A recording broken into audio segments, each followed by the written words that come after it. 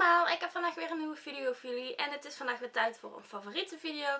Het is alweer augustus, dus ik ga vandaag mijn favorieten laten zien uit de maand juli. Deze keer heb ik alleen maar make-up producten, dus laten we snel beginnen. Ik ga als eerste beginnen met de lipsticks, want die heb ik drie zelfs. Als eerste heb ik een lipstick van Perfect Touch en Perfect Touch is het eigen make-up merk van Big Bazaar. Dit is kleurtje 06, gewoon een hele mooie roze kleur.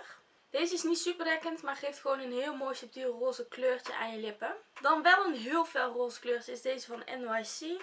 En dit is 404 Air Kiss. Dit is al wel een hele oude, maar volgens mij hebben ze hem nog steeds in de schap liggen.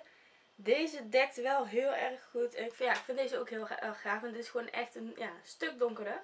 Dan als derde lipstick heb ik er eentje van Essence. En dit is een beetje uit de Nude collectie. En dit is 02 Porcelain Doll. Het is een hele lichtbruine nude kleur. En um, ja, het moet je wel maar net staan. Ik vind dat het bij mezelf wel kan. Ik vind het wel een heel mooi kleurtje. Het is wel een redelijk lichte ja, nude kleur. Dus het hangt er echt maar net af of het bij jouw huid past. Dan heb ik twee nagellakjes en toevallig zijn ze alle twee van Essence. Als eerste heb ik deze mintgroene kleur. En deze heb ik ook alweer een tijdje. En dit is 146. That's what I meant hele leuke naam. En um, ja, het is niet zo dat de Essence nagellakjes heel lang blijven zitten. Alleen bij mij persoonlijk is het dat geen één nagellak lang blijft zitten. Dus ja, dat hangt ook weer per persoon af. Maar ik vind een mintkleur voor in de zomer gewoon heel erg leuk. En deze van Essence ja, specifiek vind ik gewoon erg leuk. Dan het andere nagellakje van Essence is er een uit de Limited Edition. Of zoals Essence het noemt een Trend Edition. En deze uit de Superheroes collectie. En dit is 03 Power Girl. Um, waarom ik hem toch laat zien is omdat dit een oil slick effect heeft. En er zijn wel meerdere nagellakjes van. Ik vind gewoon het effect van hier heel mooi dat het in het ene licht, ja, is het weer blauw, dan weer een beetje paars. En ja, het is maar net waar je bent, hoe de nagellak eruit ziet. Ik vind het gewoon een heel leuk effect hebben.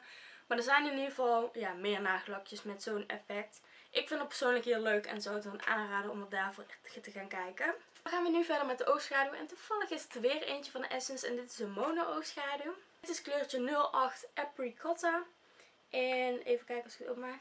Dit is de kleur. Het is een beetje zo'n peachy, zilver, oranje, roze, zalmkleurig gekleurd. Het is heel moeilijk te omschrijven.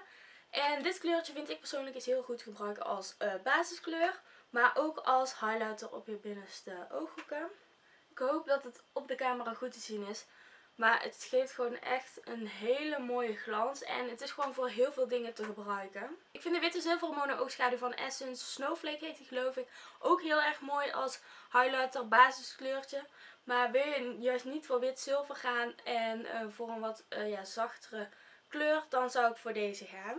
Dan als allerlaatste favoriet heb ik een palet. En dit is een palet van Beauty UK. En dit is het Posh palet nummer 3 Festival. Het is wel een paletje waar je net van moet houden. Want er zitten heel veel felle kleuren in. Maar juist daarom vind ik hem geweldig. Nou, dit is hoe het paletje eruit ziet. Heel veel felle kleurtjes. Ik vind het erg gaaf. Um, de kleurtjes zijn ook nog eens heel goed gepigmenteerd. Dat kan ik wel even laten zien. Nou, dit zijn wat kleurtjes. Gewoon de pigmentatie is gewoon echt super goed. De naam van het palet zegt het al. Het is het festivalpalet. En ik vind het dan ook heel mooi om hele leuke felle looks te maken die echt super leuk bij festivals zijn. Natuurlijk zijn het ook gewoon voor andere dingen te gebruiken. Maar zeker met festivals vind ik het leuk om dit uh, palet te gebruiken. En gewoon in de zomer als het uh, lekker goed weer is. Ik zit eraan te denken om met dit palet nog een make-up tutorial te maken. Laat vooral even een reactie achter als je dat ziet zitten. Dan ga ik daarmee aan de slag. Dit waren alle favorieten van de maand juli alweer. Laat even een reactie achter wat jouw favorieten zijn geweest. Altijd leuk om even te lezen. Doe vooral even een duimpje omhoog als je de video leuk vond. En vergeet niet om je even te abonneren om op de hoogte te zijn van alle nieuwe video's. En dan wil ik jullie bedanken voor het kijken. En dan zie ik je volgende keer weer. Doei!